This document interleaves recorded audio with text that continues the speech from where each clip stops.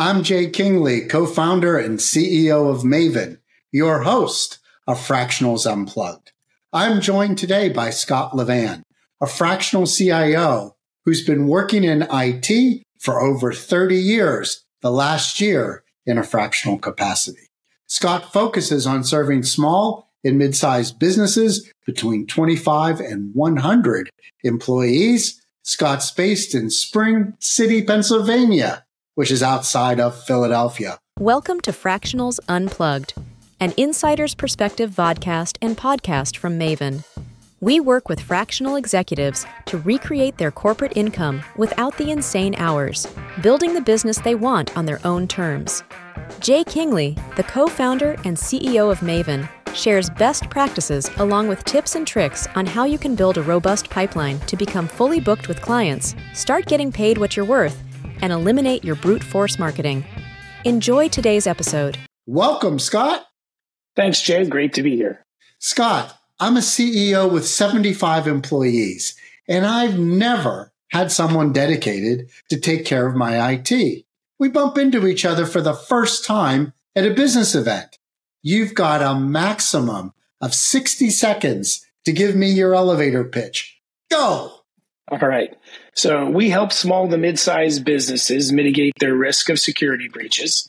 And we help them scale their IT and their technology to enable their company to communicate both inside and outside the organization and drive revenue. And we do that primarily through people, process, and technology. I love the clarity, Scot. So let me ask my follow on question. So, why do your clients need what you do? Well, a lot of them are concerned or struggle with uh, security or security breaches. Uh, also, a lot of them are having trouble. Um, their revenue's growing, but they're having trouble keeping up with their revenue growth. Uh, and I can help them with that. Also, there's the cost of technology to run their business because it starts to become cost prohibitive. Scot, I hear people who are in the fractional CIO world talk about security all the time. And if I'm somebody in your target market, if I'm that guy you met at the uh, business conference who's got 75 employees, never really worried too much about IT, uh, I'm thinking security is an issue for the big boys. They're not going to waste their time coming after a small guy like me. What am I missing? Well, the funny thing is 66% of all cybersecurity breaches are with companies less than a thousand employees. They're small businesses, small and mid-sized businesses. And it's important for even the small guys who are easier to attack to be secure, just like the big guys without the big expense. So what's my prognosis if I'm one of the unfortunate uh, smaller guys in that 66% that well, the, uh, gets nailed? Yeah, the funny thing is, is the same statistic of 66% of those that do get breached fail within the first year. They don't recover from that breach. So it's important that you are also looking and addressing your cybersecurity needs. So the, the scalability, I think, is obvious. If I really want to grow, the systems, my infrastructure has got to be able to support that. It makes very little sense to build all that in day one that I start. But by the time I'm at the 50, 7,500 employees, that's got to be a consideration. And being able to do that in a cost effective manner, you know, I get totally, or, you know, every customer I add, I'm going to lose money on. But I think when you couple that with, you know, that, that's, that's the good side. But what I can't yes. do is take the risk of a breach, which is going to put me out of business. Yeah, that's that's correct. And unfortunately, everyone's susceptible to that. And no matter what size you are, that is uh, uh, the realization in today's world and the way everything works on the internet and so forth. So being able to mitigate that is extremely important. So let me just again follow on and ask you if those are the issues that you can help me with, what outcomes can your clients expect when they work with you? Well, obviously, I work with you to help you to mitigate that risk of a security breach, not only through the technology, but also through policies, procedures, and controls and security awareness training. Um, also, if I can decrease your percentage spend of IT to your revenue as you grow, that allows you to have higher profit and become uh, more efficient in what you're doing.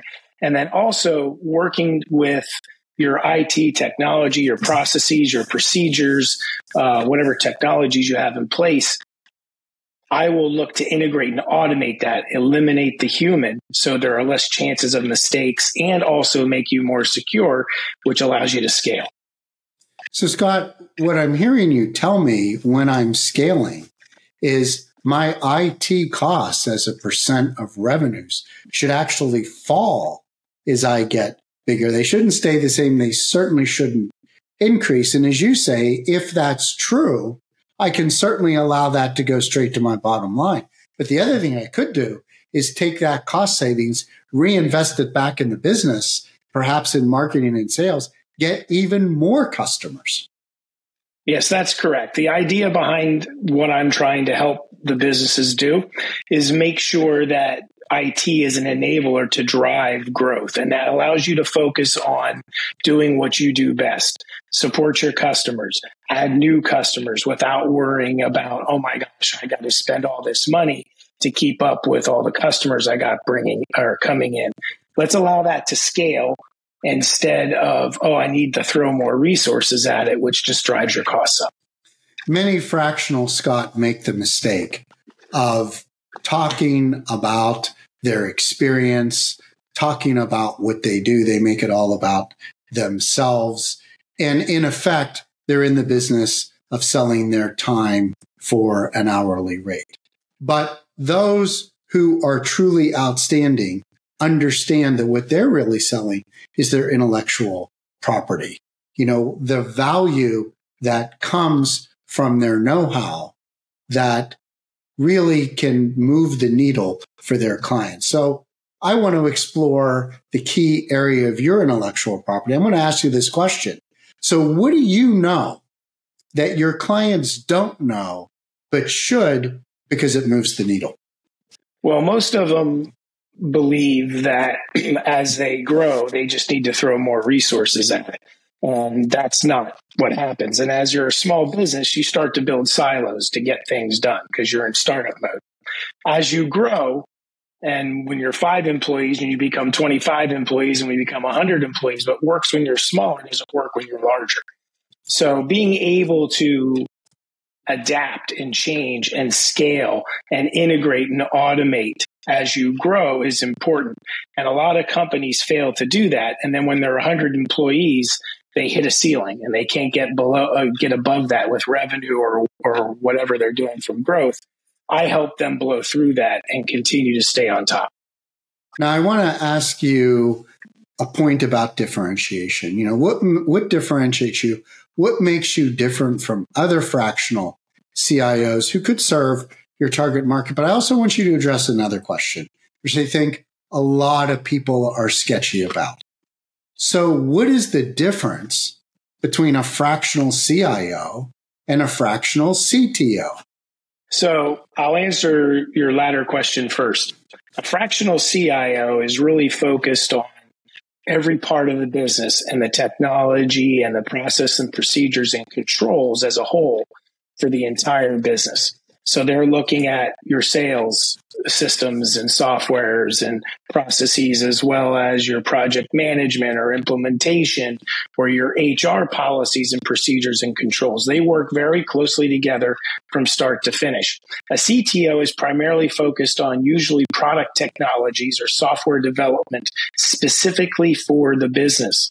Uh, they're not really focused on your internal systems and services um, like a CIO would be but a CTO is more focused on development and driving those sort of things or the technology around whatever the business is doing to deliver to their customers. Me interject here. Sure. So, from the perspective of a CIO versus CTO, this is an and both, not an either or. That is correct. Now, now talk to me about relative to the fractional CIOs, what makes you different? So, one of the things that uh, is very important that a lot of people don't understand is there's two really core things to any business. One of them is being your onboarding process for uh, employees.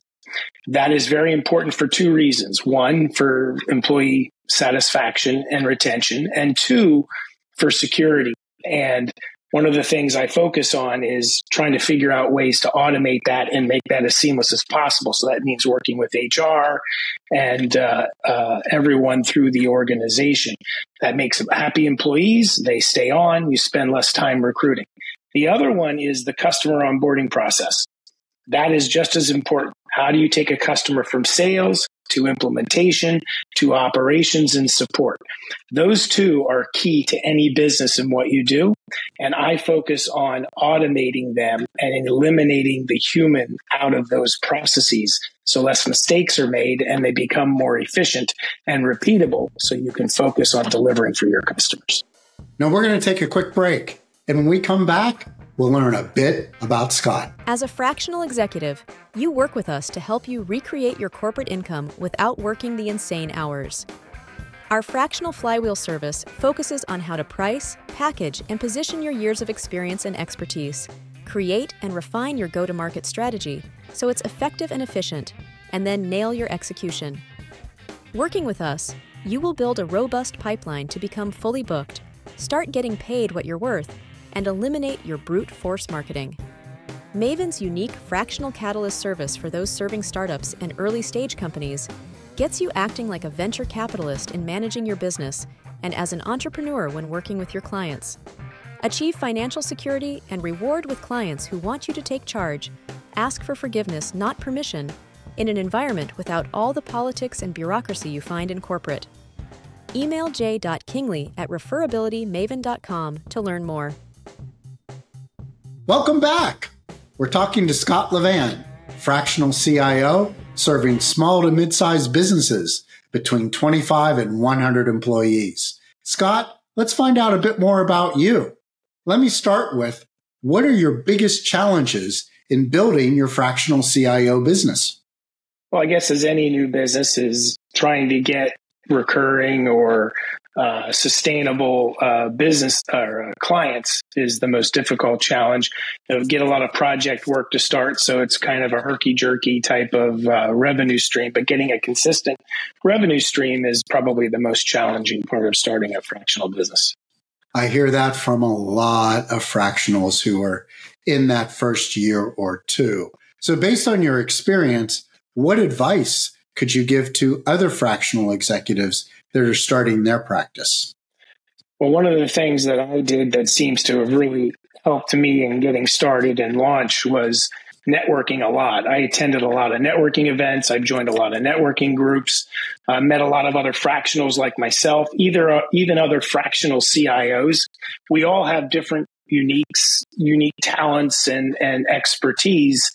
And what really works is what might work for me may not work for someone else, or they may have something that I don't have. And we're really good at referring business together, other fractional CFOs, CMOs, etc. Um, and also, uh, uh, I've been able to work a lot with a lot of other managed services providers. And that's been huge. I offer something that they don't offer, which allows me to add value to their clients. I think those types of partnerships are often overlooked particularly when you're in the launch phase of your business. Now, Scot, let's, I want you to take a look back at your entire professional career. Share with us what's been your biggest accomplishment. Well, one of the things I would say is, is um, one of the companies where I was CIO, I worked with uh, when I got there very well documented processes and procedures. Um, they had everything well documented. The problem was it was all manual. It didn't take long for me to figure out as the company started growing that running the IT group, it wasn't sustainable. And that the best way to, to solve the problem at the time, what they did was throw more people at it. That's not what is a very well scalable process. So I looked and worked over an 18 month period to automate that entire process from start to finish on onboarding new employees using those well documented processes, putting the right technologies in place. So when an employee was hired, their laptop got ordered, all the software was automatically down to it, downloaded to it when they logged in. They got all the information they need. All their accounts were created. The IT staff did not have to do that. So we were able to focus on supporting the production systems and doing desktop support as things broke instead of growing the company. The company added 300 employees over the next three years, and I hired one additional IT staff. Now that is impressive. Scot, I'm an equal opportunity kind of guy. so it's only fair that I now ask you what's your biggest professional failure? But what did you learn from it? And how did it shape what you do today? Well, one of the things I did, uh, funnily enough, at the same company is we migrated and uh, our our data center was online with AWS and it was costing us a lot of money. We decided to migrate to our own infrastructure to save money and become more efficient, and allow us to scale. The first time we tried to do that migration for the production systems, it failed. Um, and it was a miserable failure. And it wasn't that we didn't test, we actually had migrated other systems. Uh, we migrated our test system, our dev system, and our UAT system. So I thought we were in good shape. And then we went to production, and production didn't work at all. Uh, what I learned was is production isn't the same as your test systems, and that you need to fully. We didn't do a full test of the production migration because we were afraid we would impact the production system.